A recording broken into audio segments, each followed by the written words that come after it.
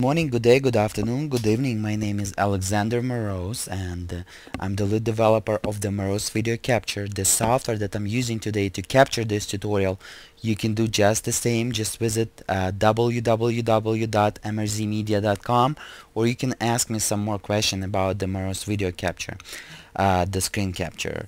So uh, today I will explain to you how to get the most from your GeForce GTS 250 and how to get how to save 10 15 dollars if you bought EVGA and how to make faster your EVGA GeForce GTS 250 faster over the GTS uh, 250 superclock by EVGA and even faster and save 10 15 bucks. That the difference between the regular version and the superclock.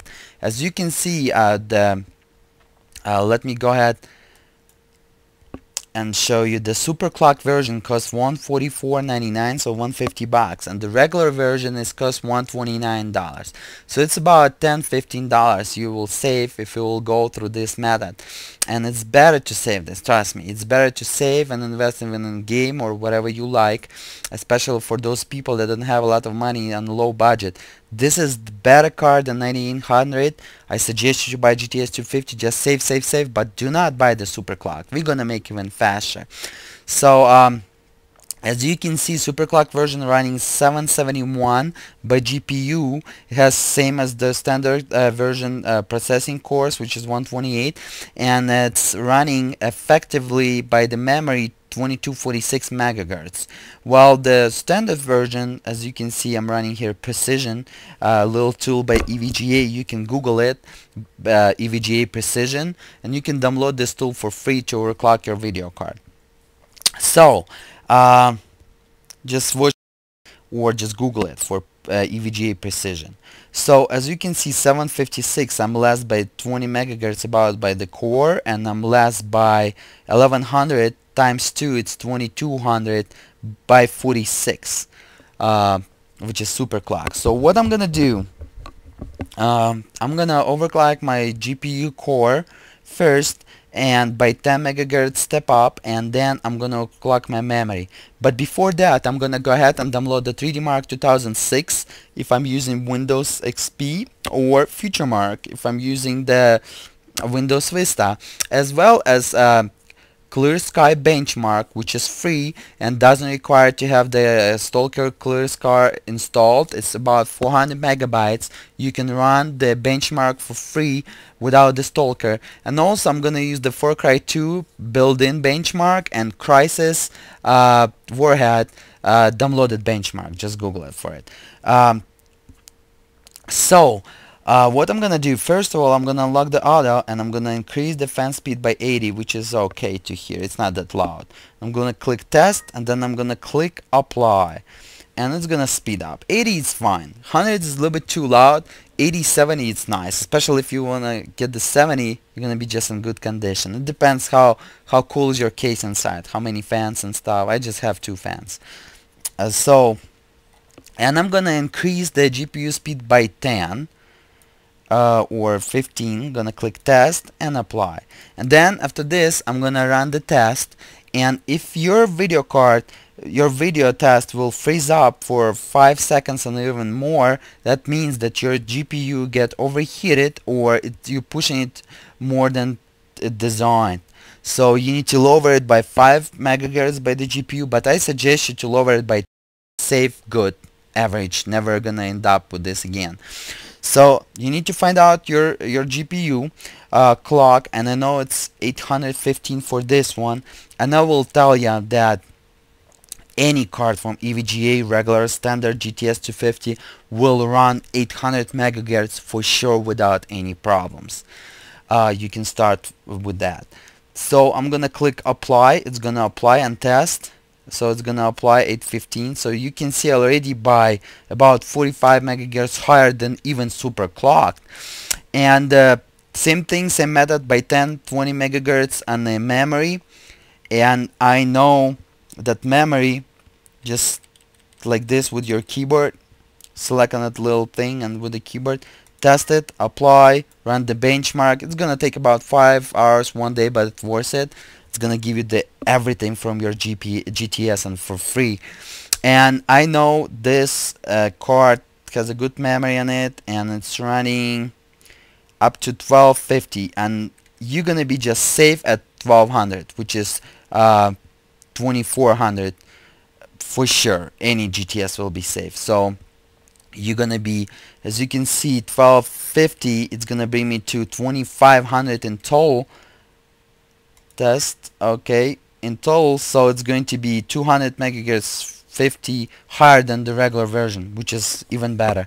So run all your benchmark make sure make sure like about 10 times every benchmark make sure you're in good condition. Make sure you don't see any dots on the screen. When you see the dots on the screen or some streaks it means that you're getting artifacts by the memory on your GPU it's probably getting overheated or you pushing to the limits. So you need to lower it by 10 megahertz to be in safe middle. So 15 for the GPU it's 510 for the memory it's 1015 so when GPU you pushing the limits it's gonna freeze up on you and it's fine. You will never hurt your uh, hardware uh, warranty with this. It's uh, absolutely safe but however I'm not guarantee anything. So that's the way you're gonna push it. And average I was getting about 3 4 FPS on Stalker uh, Far Cry Crysis and uh, what else? Almost any game.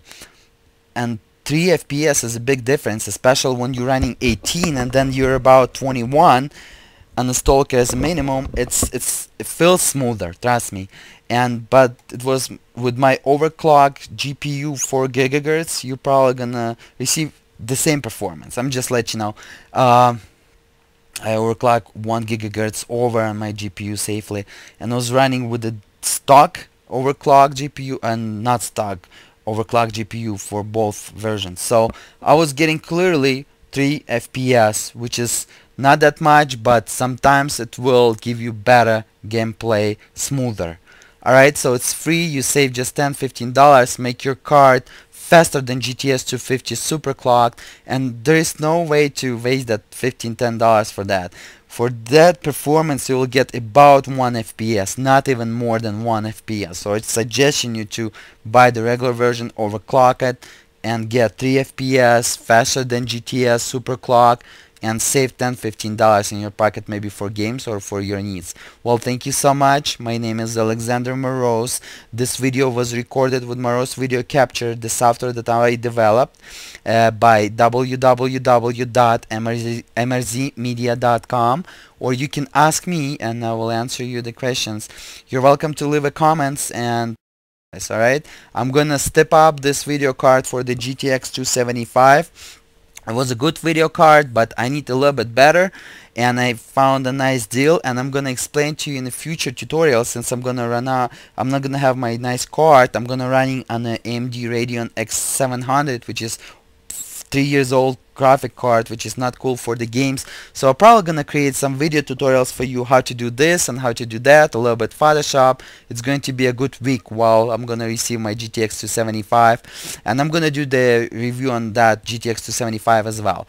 Well again thank you so much for watching. Have a nice day and bye bye now so guys let me get back to you. Uh, I just want to show you what I don't didn't like in GTS 250 GTS 250 was a good card definitely better than a 9800 uh, GT by the max overclock. It's better the stock and running a little bit even faster by about 10% that maxed out 9800 GT overclock but what I didn't like about this card, I don't like as you can see, see it's like opening here and uh, let me show you. It doesn't have the whole cartridge like GTX 260 that I own, used to have that I, I gave it to my friend, one of my friend as a present. It's not it's not closed over here like a cartridge all the way. Um, I also didn't like that over here where the slide breaches it's too much open and it's again big holes in here. Which is I think yeah this card was 129 bucks which is excellent card performer very nice will be good for the whole 2009 and um, but I think they need to close this. But anyways you know there is no way to complain but I think they should. And uh, that's what I don't like as you can see all those little bit openings. This is a great card if you're uh, having so much money low budget this is a good card especially with EVGA and I will explain to you in the future why EVGA is the best company to go with.